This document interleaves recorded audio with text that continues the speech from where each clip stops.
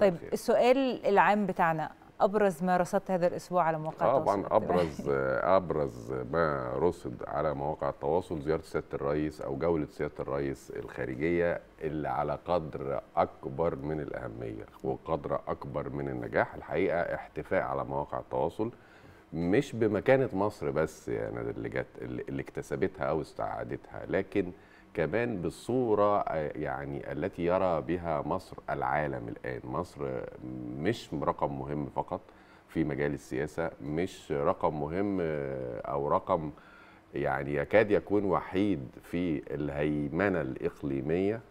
وفق رشد وفق سياسة رشيدة يعني مش يعني وفق سياسة رشيدة وفق سياسة قايمة على المكانة المستحقة قايمة على احترام الآخر أو عدم التدخل في شؤون الآخر. لكن كمان مواقع التواصل الحقيقة الأسبوع ده أو خلال الخمس أيام اللي فاتت احتفت بالصورة التي يرى عليها الغرب مش الغرب بس العالم مصر.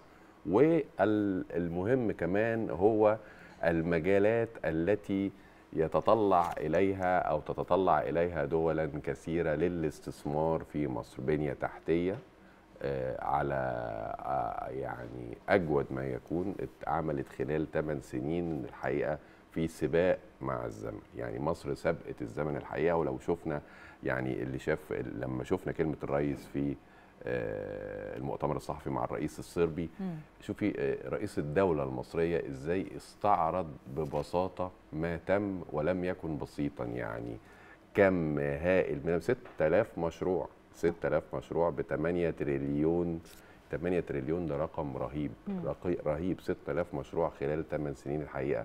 سباق رهيب مع الزمن وعلى فكرة يا أستاذ وليد حتى دايما يعني إحنا لما بنيجي نتكلم عن الحدث ده إحنا مش بنبالغ لأنه حتى دايما القادة بتاعه أي دولة بيقوم السيد الرئيس بزيارتها هم كمان بيشيدوا بالطفرة اللي حصلت في مصر طبعا في الثمان طبعا سنين إحنا ال ال المسألة ما فيهاش مبالغات المسألة فيها شرح وكنا في فترة من الفترات بس يعني عندنا الشرح كان عزيز شوية. ما كناش إحنا بن إحنا كمواطنين كمان ما كناش أو إحنا ما كناش بن بن بنغوص في تفاصيل. هناك ملايين ملايين ملايين من التفاصيل التي يجب أن يخوض فيها كل مصري يعني كل مصري لازم يبقى فخور قد إيه؟ ويشرح.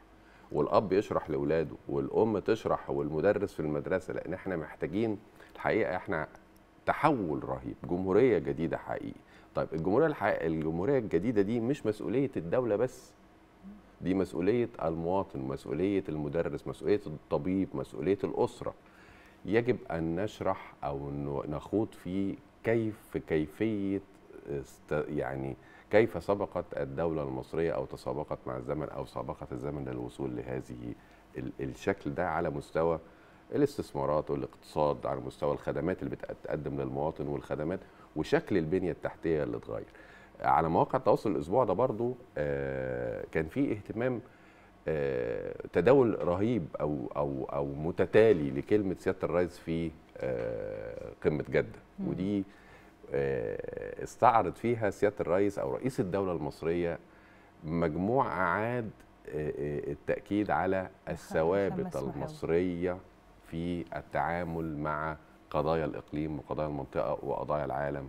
سيادة الرئيس سك مصطلح اسمه دولة الإنسانية وده كان مصطلح مهم قوي الحقيقة على مواقع التواصل خلال الأسبوع يتم التداول يعني التداول السريع ليه أو التداول العالي دولة الإنسانية ده مصطلح الحقيقة جديد ومصطلح جامع مانع ومهم قوي إن برضو المواطن المصري أو إحنا على مواقع التواصل أو إحنا في الصحافة يعني نتداول تداعيات هذا المصطلح أو مضمون هذا المصطلح أو المفهوم العميق لدوله الانسان طب إحنا ممكن يعني استغل بقى وجود حضرتك معايا وقبل ما آه. ندخل في ان إحنا نقرا التفاصيل دي لما نيجي نقول فعلا دوله الانسانيه يعني إحنا دولة ممكن الإنسانية آه السيد يعني الرئيس كان هي دولة دولة قوية دولة قادرة دولة قدرتها رشيدة برضه سياده الرئيس من سنتين كان اتكلم عن مفهوم القوة المصرية. القوة المصرية هي القوة الرشيدة. يعني إيه القوة الرشيدة؟ القوة التي لا تعتدي. نحن صح. لا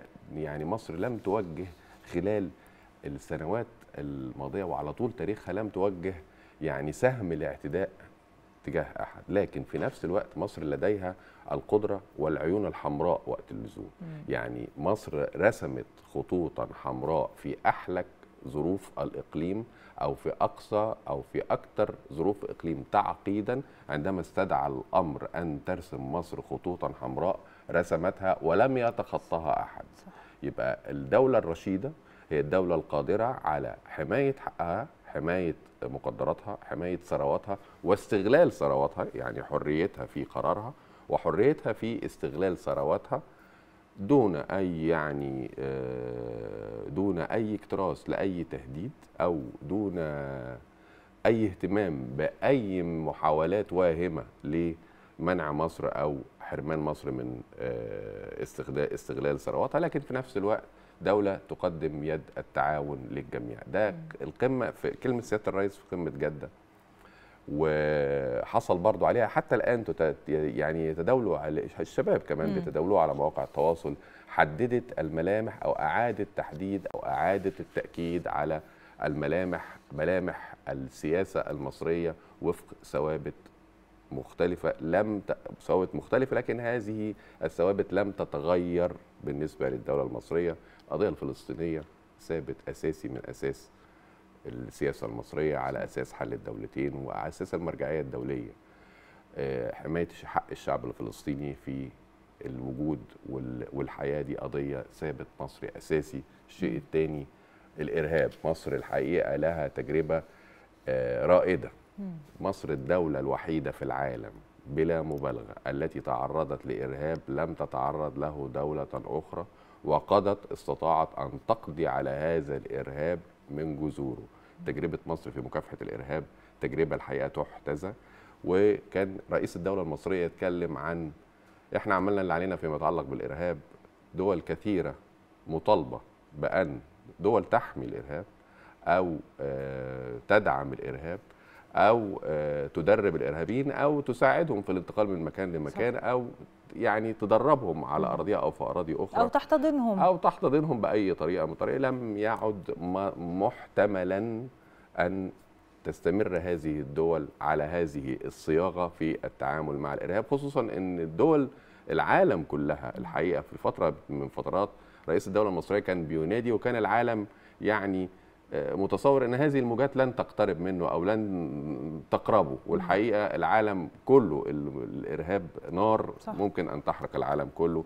الحكاية الثانية مسألة سياده الرئيس أكد على حق مصر في مياه أو الحصة الأساسية أو التاريخية في مياه النيل. طبعا إضافة إلى التأكيد على المناخ وأهمية أهمية أهمية أن يحصل مزيد من التفاعل في إطار رئاسة مصر لقمة المناخ اللي جاية إن شاء الله في شرم الشيخ كوب 27 للحد من تداعيات أو تأثير التغير المناخي.